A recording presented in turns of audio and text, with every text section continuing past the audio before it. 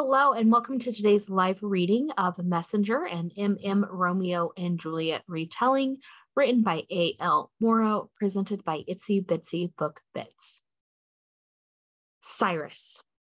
As, Cyrus. as far as Cyrus could tell, no one had seen Devlin in days. Not that any of the demons he'd talked to had been particularly forthcoming, of course. The male with a shaved head and bulging arms, standing behind the cash register at one of the bodegas on Sheol Street, was no exception. Buy something or get out, he said gruffly when Cyrus asked if he'd seen Dev. For emphasis, the demon curled one of his meaty hands into a fist and thumped it on the counter. Cyrus sighed and glanced around the cramped shop. There was a wall of refrigerated cases stocked with beverages. A few shelves were lined with boxed food mixes, hygiene products, and batteries and closer to the register sat a display of pre made snacks and sandwiches. The place was dingy and uninspiring, and the air conditioner made a racket, barely managing to keep away the desert heat. But if Cyrus wanted answers, he'd have to play along with the demon proprietor's game. Fine. Quickly, Cyrus snatched at a sandra- sandwich and tossed it on the counter without bothering to read what kind it was. The demon grunted, then jabbed at the buttons on the register, while Cyrus pulled his wallet from his back pocket. The total flickered on the screen in a broken in broken neon green letters, three times the amount advertised on the little white sticker stuck to the side of the plastic packaging. Cyrus raised his brows. Seriously? The price is what I say it is, Angel. The demon's eyes flashed like fire, amber flames daring Cyrus to argue. But Cyrus didn't take the bait. He wasn't here to make trouble, especially since Sheol Street the main road in rundown Nocturna still hadn't recovered from the last fight between celestials and demons. The broken glass, piles of trash, and scorch marks on the buildings outside were proof of that. No, Cyrus only wanted to find Devlin. Finding Dev meant finding Jace, and finding Jace meant peace of mind. It also meant hope. So he tossed the cash on the counter, tucked his wallet away again, and reached for the sandwich. Transaction complete. He was officially a paying customer. Now, about Dev. He's a forger, used to work at Perdition Market. The demon snorted now, his wide nostrils flaring. Never heard of him. Of course, Cyrus should have figured the demon would say that, whether or not it was the truth. Are you sure? He's about this tall. Cyrus lifted his hand as though an invisible person was standing at shoulder height before, beside him. He has dark hair and a scar down the side of his face. To be honest, Cyrus had never actually met Devlin in person. He'd only heard about him from Jason Astra, but he'd been able to piece together this much about his appearance from the demons who had likely inadvertently let some information about Devlin slip. The bodega's proprietor, however, was not so careless. I already told you I don't know shit. The male formed a fist with his other hand and it joined the first on the countertop. So, unless you want to get a cola to go with that sandwich, I suggest you move on. Cyrus let out a long, slow sigh. He absent-mindedly squeezed the sandwich in his hand, denting the side of its plastic container. No, I'm good. No cola for me. Thanks.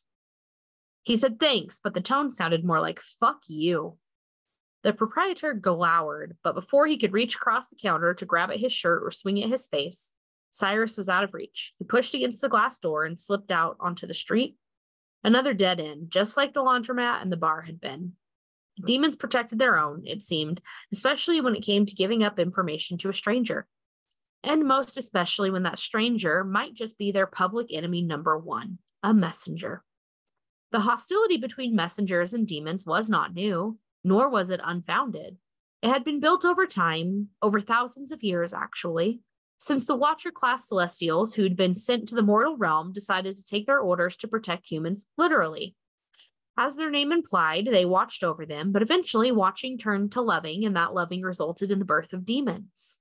Half human, half celestial, a dark integration of both worlds, conceived from disobedience and the embodiment of it. As the demons' numbers grew, so did the destruction they caused. Messengers had been trying to cull and contain them ever since. It was an action watchers disapproved of. The demons were, after all, their children. The groups had been on the verge of war for decades messengers versus the watchers and demons. Tensions had worsened too, since the messengers corralled them all into Las Vegas, Sin City. The perfect place to hide a population of creatures known for defiance and debauchery. But Cyrus wasn't an idiot. He knew better than to advertise his status as a messenger.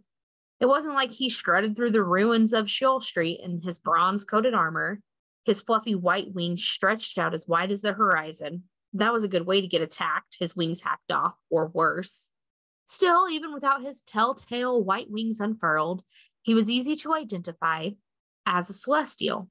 The soft, starry glow of his skin, ethereal good looks, and hint of an accent gave him away.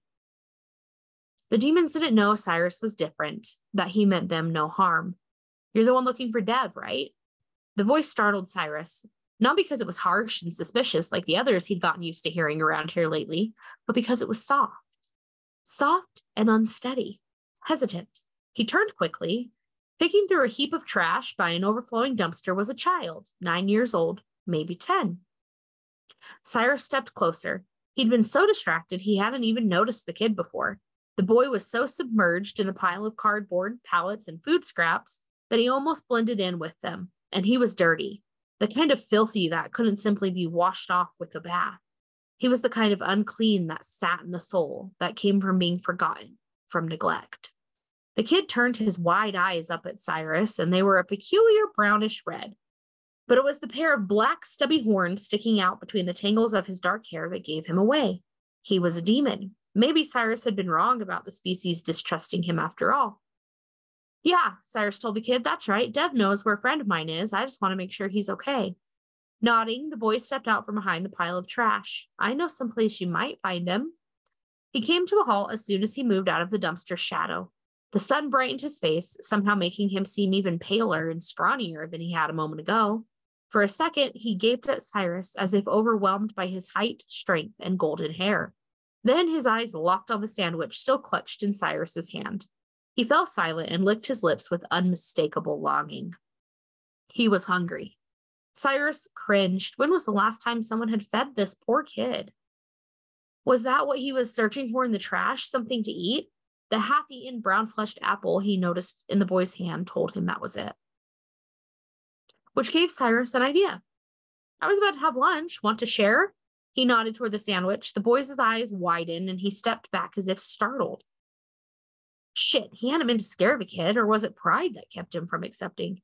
There was one way to find out. Cyrus sat down on a discarded shipping crate near the dumpster. If he'd been hungry, the smell of the rotting refuse in the Las Vegas heat would have been enough to make him lose his appetite. Silently, he peeled back the seal and opened the plastic container in his hand.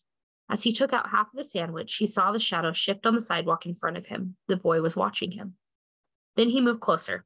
Here, take it. Cyrus held out the portion of the sandwich. It was nothing special white bread, ham, and cheese. The lettuce was a little wilted, and the tomato had seen better days, but the kid didn't seem to care. He stared at it like it was a proper three course meal. The withered apple fell to the pavement with a thump. The demon slid onto the edge of the crate beside Cyrus and accepted the offering. What's your name? The kid wasted no time devouring his food. By the time Cyrus finished the question, he had most of the sandwich in his mouth. Ransom, he mumbled as he chewed. Cyrus grinned, his heart warming at the pure joy on Ransom's face as he ate.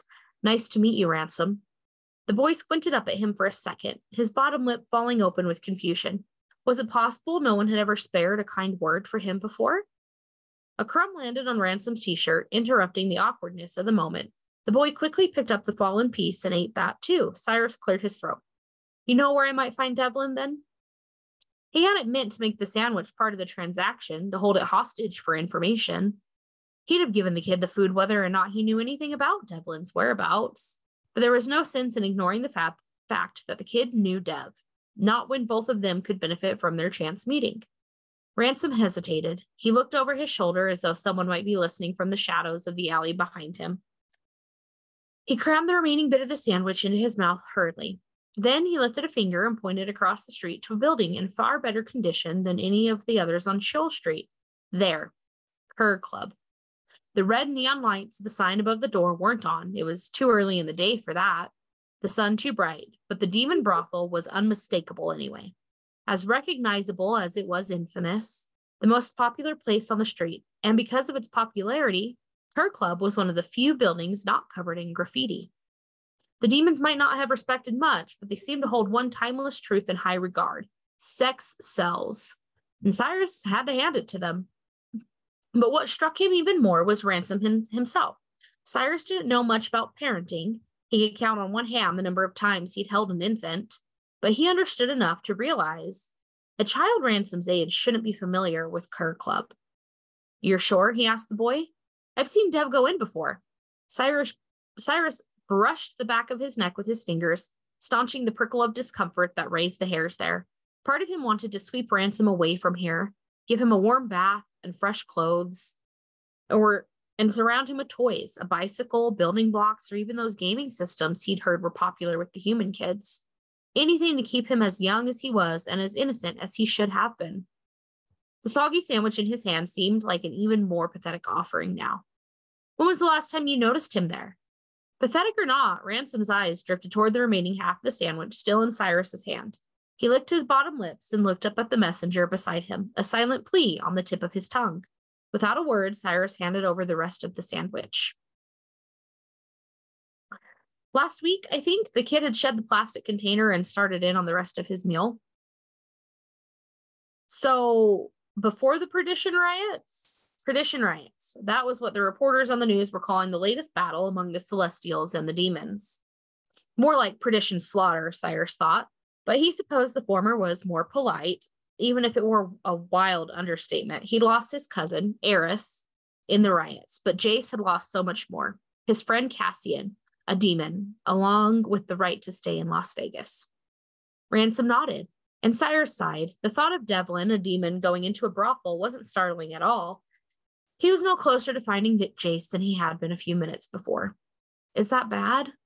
There was so much hope in the poor kid's eyes that Cyrus didn't have the heart to tell him the truth that he was back to the drawing board, so Cyrus forced himself to grin. Not at all. You were a big help. He reached over to ruffle Ransom's hair affectionately. Thank you. The demon beamed like a little star right here beside him, but his happiness didn't last for long. Over the boy's shoulder, Cyrus noticed a pair of cops leaning against a car across the street. They stood together with matching fast food coffee cups, swapping jokes while they ignored the scavengers, spray painters, and apparently lost children wandering Sheol Street on their watch. Assholes. That was what Jace would have called them, and Cyrus would have to agree. Then the radio clipped to the belt of the policeman closest to them beeped. As he reached for it, his eyes locked on Cyrus, then on Ransom. The laughter on his face died immediately. The dimples in his rounded cheeks smoothed as he frowned, and he tapped his partner, a taller man with thick reddish hair, on the arm. Redhead followed Dimples' stare. He stood straighter, sobering. Cyrus couldn't hear their words, but their reaction said enough. Dimple's mother muttered something into the radio, clipped it back on his belt, and then the pair were moving, crossing the street, coming toward them. The desert air felt stifling all over again, and Cyrus could have sworn his heart dropped to the bottom of his stomach. These cops might be human and no match for his celestial powers, but they were far from harmless. They had the backing of the messenger army here in Vegas. With one quick call, the skies over Sheol Street would be a flurry of white wings and silver toned swords. Maybe they'd already called for messenger backup. Come on, Ransom. Let's get out of the sun, all right? Cyrus stood and nudged the child on the shoulder, urging him to stand. The boy looked up and panic registered in his eyes, but it was too late. Dimples hovered over Ransom like a storm cloud, glaring. Where'd you get the sandwich, demon? Ransom swallowed the bite in his mouth and looked up at the cop, helpless. He, he gave it to me. He glanced desperately at Cyrus. It's true, Cyrus began to explain. I think you stole it, Redhead interrupted, ignoring Cyrus completely. He spoke loudly as though the volume of his voice could drown out the truth. Ransom's eyes filled with tears. I didn't, I promise. Dimples reached out and grabbed the boy's skinny arm, pinching hard as he yanked him off the crate they'd been sitting on. The half eaten remains of the sandwich fell to the pavement. You're lying little shit like all of your kind. Hey, there's no need for any of this. Cyrus raised his voice now. If Redhead could do it, so could he. I bought the sandwich and gave it to him. It's that simple. Stay out of this, Angel. Redhead snapped. The next few seconds passed by so quickly that Cyrus could hardly make sense of everything as it happened. Let me go. Tears dribbled down Ransom's pale, dirt smeared cheeks as Dimples ripped a pair of bronze handcuffs from a carabiner attached to his belt. The boy tried to squirm away, but Dimples only gripped him harder. The two thrashed against each other as Dimples tried to lower the restraints onto the boy's wrist. Hold still, you little bastard. Ransom's eyes blazed a fiery red. The cuffs snapped closed on themselves as they hovered above his wrist. Then they flew from Dimple's grasp as if torn away by some invisible hand and smashed against the graffitied side of the building beside him. Demon magic. Celestials had certain powers born of the stars. They harnessed the energy of the cosmos that ran through their veins to form orbs of destructive energy. Demons had their own abilities. They were manipulative, able to bend objects and humans to their will. Cyrus had never seen demon magic up close like this before. He hadn't realized children were capable of using their gifts, but that was exactly what Ransom had done. As the handcuffs clattered to the pavement, Dimples let out a grunt of fury. He reached for the baton dangling from his hip and raised it high. Ransom screamed, cowering in the shadow of the weapon as he waited to feel its impact.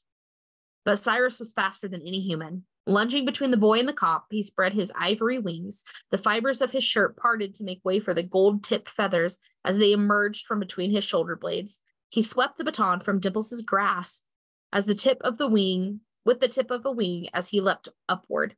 Run, Ransom, run, he shouted.